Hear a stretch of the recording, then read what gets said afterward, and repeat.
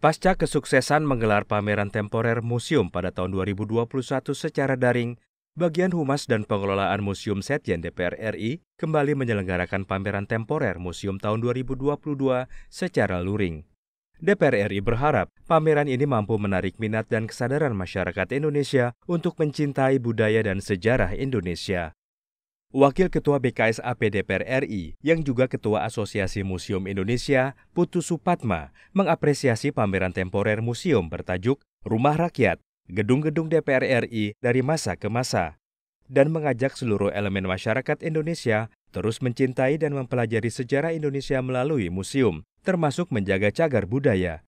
Kita ketahui bahwa tidak banyak yang mengetahui perjalanan DPR RI dari awal dan bahkan tidak saja sejarahnya di gedung ini atau di kawasan DPR MPR RI di Senayan saja, tapi bisa dilihat bahwa perjalanannya dari berbagai tempat bahkan sampai di luar Jakarta. Nah tentu momen ini kita gunakan untuk turut bersama menjaga, mengawal dan menggaungkan kemuliaan, menggaungkan kemuliaan bangsa Indonesia.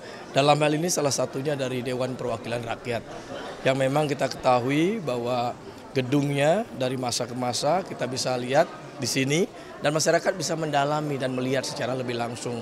Dan tentu memang kalau saya sampaikan harus dilihat ke sini. Jadi memang harus kunjungi dan saya mengajak semua pihak masyarakat Pameran temporer museum Rumah Rakyat Gedung-gedung DPR RI dari masa ke masa mengulas gedung-gedung yang pernah digunakan oleh lembaga parlemen Indonesia mulai dari zaman Hindia Belanda hingga DPR saat ini. Total ada 13 gedung di lima kota yang pernah dipakai.